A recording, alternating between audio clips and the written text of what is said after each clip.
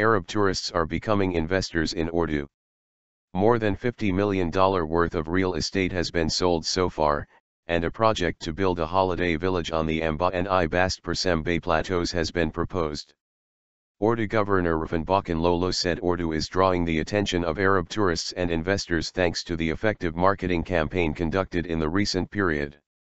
Reporting that 8,000 of the 15,000 Arab tourists who visited the city last year stayed overnight, Balkanlıoğlu said the number of Arab tourists and investors visiting the city, has reached nearly 30,000 so far this year.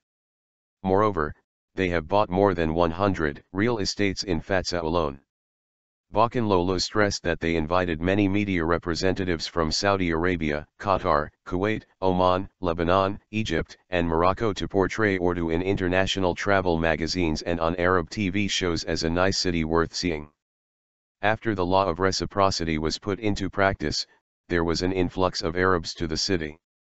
Although Arabs want to build a holiday village on the Çambaşı Plateau, which is 1,850 meters high, and the Aybastı Perşembe Plateau, which is 1,500 meters high, those investments cannot be done yet because of the property and pasture problems on plateaus. Balkanlıoğlu highlighted that they would give importance to the investments that are in harmony with nature without destroying the region's beauty. Moreover, he said they would not fall into the trap of excessive construction that other cities have fallen into.